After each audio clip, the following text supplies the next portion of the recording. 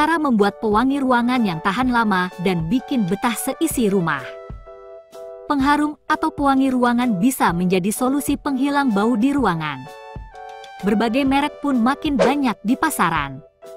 Bentuknya juga semakin beragam, ada yang semprot, padat dan bahkan ada penyemprot otomatisnya. Harga yang ditawarkan pun beragam, ada yang murah, ada yang mahal. Nah, daripada beli, pengharum ruangan ini bisa dibuat sendiri loh. Bahannya pun lebih murah dan dijamin tahan lama.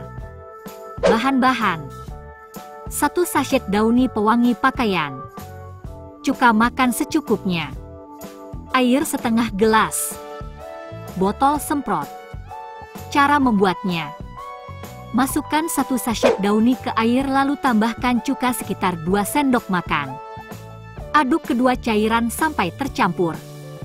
Masukkan ke dalam botol semprot bisa bekas botol parfum atau botol pembersih kaca. Semprotkan pewangi ruangan ke sudut-sudut rumah atau bagian yang berbau. Selamat mencoba Bunda, semoga bermanfaat ya.